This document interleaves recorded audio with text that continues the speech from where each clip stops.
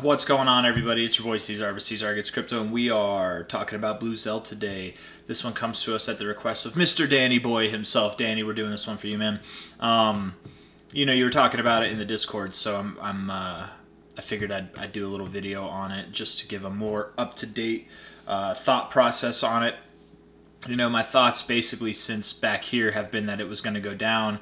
And for about four days, I was right. And then the rest of it, I've been wrong. You know, day after day, it just keeps going up it just can't be stopped, man. But I do think, I really do think that this decreasing volume along with price increasing like this, it just, it can't, it's not sustainable. And something like this would imply a pretty big dump. And if it's not, if it doesn't happen fast, you know, it can happen over, over an extended amount of time, sure, whatever. I would expect it more to be fast because if it's moving like this when there's no volume, what's it going to move like when there is volume? I would assume it's going to move very fast, right? So um, I don't know if we'll get this much volume or probably probably less volume, but who knows? Who cares? You know that that's not the important thing. The important thing is that when volume starts to increase, whenever it stops decreasing, I would expect it to be to the opposite effect of what we've been doing recently, um, and likely, likely. I would think that we would at least come down to this kind of bottoming area of this overall consolidation range, which would be at about 7.8 cents, if not potentially at least what somewhere around like 10 cents right there, right? Something in this range would make sense to me. And if we zoom out, I've been talking about this fib, uh, what's it called? Fib retracement range scale. Is that what's it? I don't know, scale. Let's call it a scale, whatever. Um, from bottom to top, the 382 there is right there at about 11.66 cents. So we could, and, and this used to be lower. It used to be a little bit lower. You know, down here at this top, before we actually broke through this, the 382 lined up very well with that previous area, the top of that area that I was talking about. But we could, you know, potentially bottom out at the 382, maybe even just a little bit below it, right around 11 cents, because we also have this previous closing high area and a previous resistance area, previous support area coming in here on Bluzelle. So this this like 11 let's call it like 11 cent to 11.66 cent area is definitely something to pay attention to though i do think again looking at it on a daily perspective it would be very common and to to the expectation expectation not expectation i'm sorry expectation proper english um, that that we would go down here. But maybe we don't you know maybe we do bottom out somewhere around 11 cents or like 12 cents somewhere around there. That that could happen as well. So just kind of keep your eyes on that. Um, right now i'm more in favor of believing in this because i want some cheap Bluzelle no that's just because of, of personal experience. Whenever you break out of these ranges to the downside you tend to go back to the bottom of the range itself um, before finding before finding new highs, right? And I think that it would be an overall higher low. So I don't think that we would actually go to the bottom of this range, but maybe so more so in it, if not potentially literally bouncing right off the top of it. Um, but you know, nothing's nothing's has to be a certain way. Things can change overnight, and I've been wrong about this thing like day in and day out for like the last I don't know how many weeks now, probably. It's 19, 14, literally two weeks. Yeah.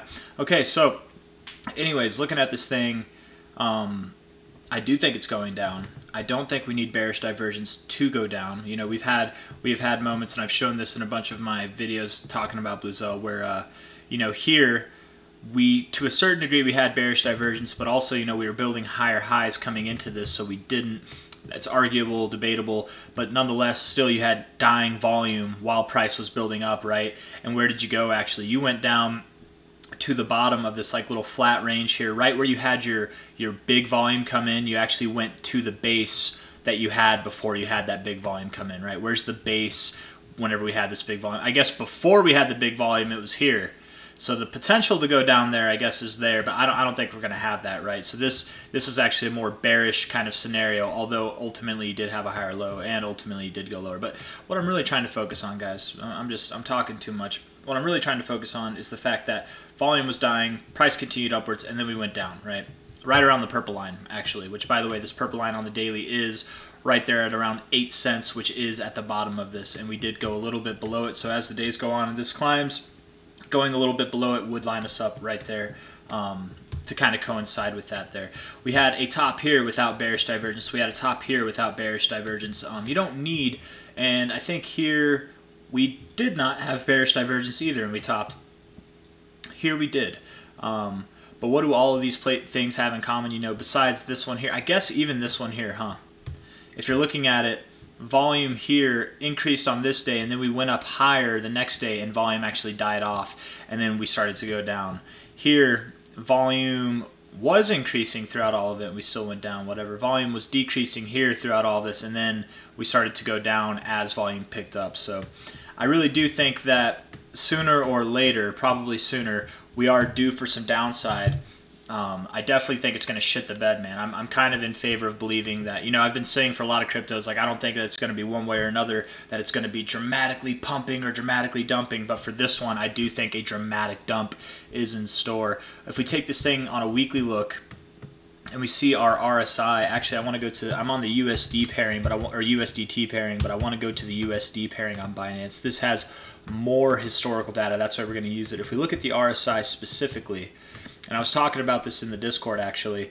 Um, which, by the way, if you guys want to join the Discord, I'm gonna leave that. I'm gonna leave a link for that in the description, so you can do that. Um, because I'm, I'm not making videos all day, but I do check the Discord from time to time, periodically, and uh, I try to answer questions accordingly. You know, I try. I definitely try to. Uh, you know, if you guys have questions, I try to be there. If I have questions, I ask you guys too. You know, like it's not, or like I, I like to hear your opinions, but uh, it's just it's a good I think resource to have for all of us who are just trying to figure things out and bounce ideas off each other. Um, I'll leave a link for it in the description. But looking at the RSI, we've been up this high once before, actually a little bit higher, right? We came close over here. If we consider this like the true peak, then we've been up here one, two, three times maybe one, two, three, four times, you know. But nonetheless, this is the second most overbought that we've ever been. What hap- what happened the time that we were overbought, that we were the most overbought we'd ever been? Well, when we were up here, quite literally, it was on this. This week here was the uh, the week that we were the most overbought. It was that week there. Um, I'm gonna draw a bubble. I meant to draw a bubble. I'm sorry. I like bubbles. Bubbles are fun. I, that's that's a line off of uh, Finding Nemo. I like bubbles. Um, I, I don't know if that's actually what he says, but he says bubbles a lot. Anyways, the main thing that I'm trying to say is this area here is where this area was. It coincided with this. And what did we do afterwards? Well, from a top to a bottom perspective, we went down about 78% put it in perspective for what we're doing now, a 78% drop would be rather dramatic. And I have been saying a dramatic drop, but I don't know if we're going to see something that dramatic, right? A 78% drop would actually take us lower than this low here, and I, I wouldn't expect that. Um, though I would compare this probably closer to what we experienced here. We broke above the purple line. We were below the 50, just like we are now. We're technically a little bit below the 50, right? Just barely. Um, and back here, we were actually well below the 50, but we hugged the purple line all the way down um, and continued moving down, right? And then here on these peaks, you you didn't finish off, you didn't top off here. You actually continued to go higher, and from there you had a dramatic drop, sure. But even in the midst of this, where this little peak was here, from top to bottom, you did manage to drop 57%. So 57%, 78%, you know, somewhere right in between that would be, I guess, 60 8%, right? Uh, 67.5%. And from the current top, if we're assuming that this is the top, I'm not, I'm not going to assume that it is either way. Just going with what we have now. I mean, it could be. I'm going to say it goes higher. That way, maybe it goes down, right? Just keep proving me wrong. It's going to go higher, right? You know. Um, anyways, uh, 64%, somewhere like right in the middle of that range, 67% even, would take us down to around 7 cents. Sure, maybe we do closer to like a 57% drop where we go down to around 9 cents or 10 cents. Sure. We could, again, going to around like 11.3 cents, 11 cents, 11.5. That's anywhere from like a 40 to a 50% drop, kind of in that area, um, which I still think would be fine. That is a significant drop in itself, but ultimately, guys, anytime that we've had these tops in the overbought zone on the weekly, they have uh, marked, you know, relative tops in the high as well. Even if we continue moving upwards, it's still got you've, you've still got significant price action to follow. This happened in a very very short amount of time. I wonder what we did back there. This was in February of 2021. Let's check it out. Let's check it. Check it out. February over here, right, right there. That's the one. So looking at this price action here in February, I just want to see if it's comparable to what we're experiencing now, right? Um, nope, volume was, and you can see here where the volume is increasing actually as you're going up. Volume did increase as you went down, but actually it, it spiked here on this almost bullish engulfing candle, so that should have been a signal in itself. It was actually decreasing on its way down. And you got a higher low, kind of a double bottom, whatever. But notice how when you crashed, if this was like your overall move up, like you had your initial move up here, you consolidated and had like a weak leg up afterwards, you went all the way back down to like the bottom of this range of consolidation, right? And that's why I really think, you know, just seeing this kind of stuff time and time again, I really would expect that we go somewhere near the bottom of this. It lines up with the purple line pretty well as well, so um, that would make sense to me. Looking at the four hour, there's no there's no bearish divergence anymore, guys. It was there, it was present on the daily, on the four hour, um, and now it's just been eliminated everywhere except the one hour. Apparently, we do have double bearish divergence. This is definitely diverging. Um, that is true bearish divergence at its finest. We've broken out of this ascending trend line. Man, it might be today. It literally might be today that this thing starts to shit. And I'm not just saying that because we're what like five percent away from the top already, six percent. Um, anyways, anyways, I feel like I've said my piece on this. I do think it goes lower. I think that this isn't the top. It's to go higher from here, but then it's to go lower, right? Because I just I can't seem to be right on this thing.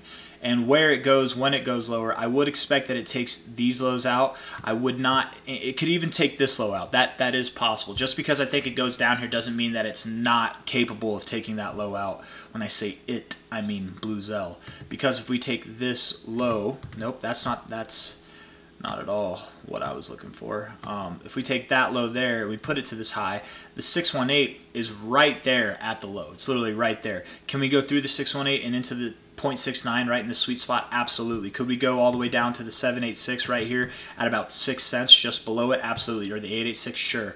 All in all, though, I wouldn't expect that we take out this low. I don't even know if we're going to get close to it. So I would be more of a fan of saying like somewhere near the 786, this previous area of resistance would make sense to me um, at the bear, like at the absolute lowest. Previous area of resistance, previous area of support here kind of nothingness over there, previous area of support, right? So it would make sense to me, but but well before that, I'd like to see what we're doing at the 618 around 7.8 cents, 88 cents to the 69, which is right around 7 cents itself. We might not even get that low. Let's just monitor this thing as it goes down, as volume picks up. I really um, am not expecting too much higher of price growth if it does go higher at all, because we do again have decreasing volume throughout all of this. I just I've, I've seen this time and time again enough times to. Uh, have confidence in saying that likely what we're going to see is a move that takes us again to the bottom of this overall kind of consolidation range which it is consolidating. It's just consolidating to the upside. You know, that's it's kind of like its own little price range, right? Like this is a price range here, but it's it's flat. This was a consolidation range here, and then we moved down, right? You had another one here. This one even sloped upwards a little bit. Um, anyways, I'm just I'm just talking now. So without any further ado, if you guys like the video, leave a thumbs up, subscribe to see more. I do think that Bluzelle is about to shit the bed. I've already told you where I think it's going, somewhere around seven to I guess seven to eleven cents really, but probably closer to that seven to eight cent area is what I'm looking for. Um, yeah. Take care, everybody. Have a good day. Bye bye.